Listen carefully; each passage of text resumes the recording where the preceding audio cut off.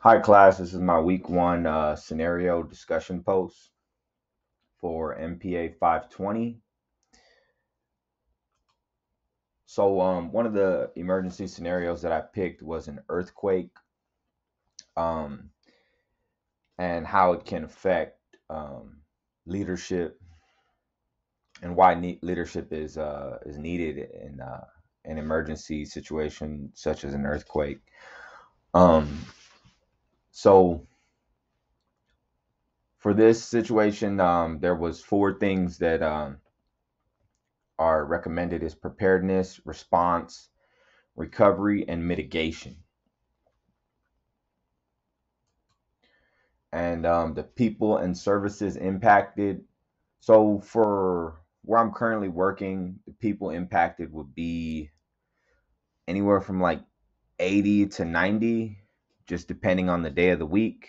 Um, if it's a day where shifts are overlapping, then it's um, could be over 120, 130 people. Um, and um, the biggest factor when it comes to the people impacted is that the, they need a leadership presence. Um, someone has to be there to make sure everyone's accounted for. If they're not, someone has to be um, ready to contact those emergency services and um, just kind of be able to guide people to the uh, emergency exits and um, just assist with things like that. So there definitely has to be a leadership presence. And event and aftermath. So the actual event is um, typically pretty quick for an earthquake. Um, sometimes there's aftershocks, which can be even more uh, damaging than the initial earthquake. And um, but typically minor earthquakes only last, you know, one to a few minutes. And um, the same can go for an aftermath and um, or an aftershock.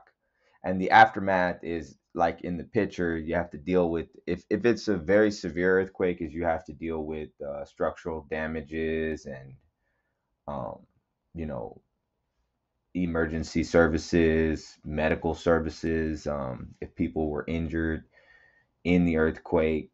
Um, so the leadership presence is definitely needed, and um, it's a situation where you know it, it calls for immediate response and and that strong leadership to um to be able to bring people to safety out of this um you know natural disaster